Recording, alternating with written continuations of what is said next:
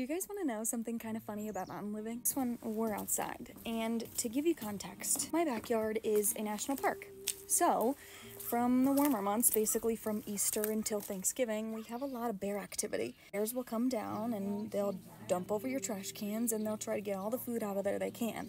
So, in order to combat that, this is what we do. We actually don't have normal trash cans. Here's a normal trash can where you can just lift the lid and you can open it. This trash can, however, has a bear lock on it. If you don't have opposable thumbs like bears, you cannot open the top of the trash can. Kind of a running joke in the neighborhood. We always know who has bear locks on their trash cans and who doesn't in the morning and see trash all the way down the street. You know the bears have come through and looted all your trash cans.